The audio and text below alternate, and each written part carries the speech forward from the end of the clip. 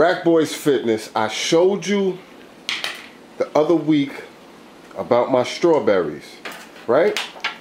And I, I and I know these things are genetically modified, right? Now look at this. This is a, a a green apple. I just dropped this wire. My wife put this in the fridge last night. Just like this, didn't cover it up, nothing. Now, what she said to me was she had it on top of the fridge. It was in a plastic like Ziploc and it was there for probably a week or two. She had forgot they was up there. So she, you know, pulled it out, said, let me eat one. She ate half of it, put the rest in the fridge. As I said, it was uncovered, all of that. She just pulled this out and showed it to me. Like, we all know. Normally, as soon as you cut an apple open, it starts to turn color. starts to turn brown.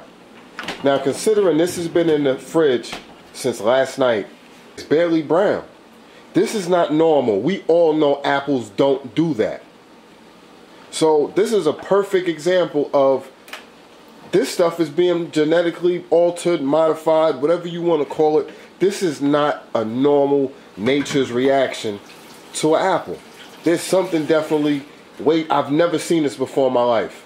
This is disturbing. This can't be good. Not in the long run. Maybe it is good, but I, I, I, just wouldn't eat this.